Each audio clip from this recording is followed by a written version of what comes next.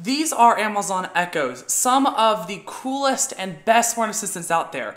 Today I'm going to be showing you how to bring them all together as one to make them even smarter. So let's get started. Hey everyone, my name is Jacob. Today we're going to be checking out Amazon Echo Routines, which is something really cool that I, for whatever reason, have not really talked about on my channel before. Basically what they are, are they're like automations for your Amazon Echo device or even your smart home devices. And these automations can be controlled with time, location, alarms, and other things. And that's what we're going to be looking at today. Alright, so first off, really quickly, I'm going to be showing you how to make a routine, basically the overview of them. And then after that, we're going to have some fun with some other routines that I made in the past, just so you can see what you can do with them. So anyways, let's open up the Alexa app, go into the menu, and then go to routines. And then right here, you're gonna be greeted with all the routines if you've made any in the past. So we're just gonna press the plus button up there, and then you can say whenever this happens. So you have six choices your voice, a schedule, smart home, location, alarms, and Alexa gadgets. So all these are pretty self-explanatory. So let's just do a quick little voice routine. So whenever we say Alexa, good night,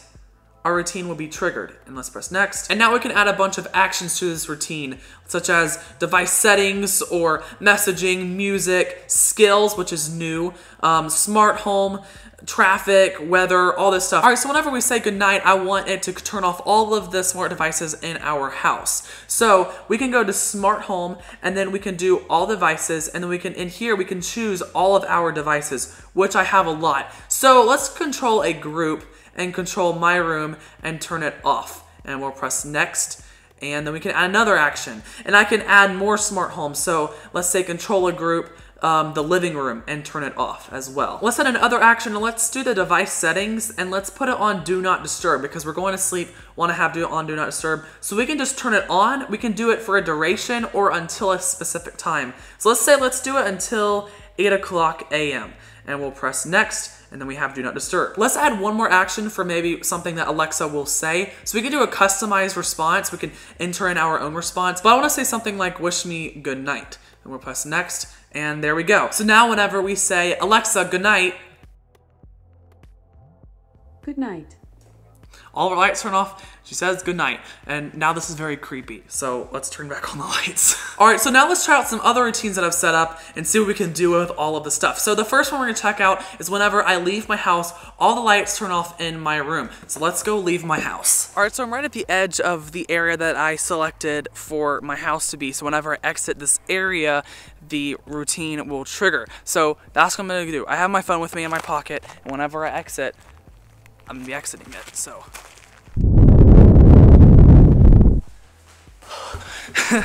As you can see, the lights turned off in my room. Now I actually have a routine set for 3.30 where my lights will change colors and my Echo will play some music. And it's actually supposed to be 3.30 right now.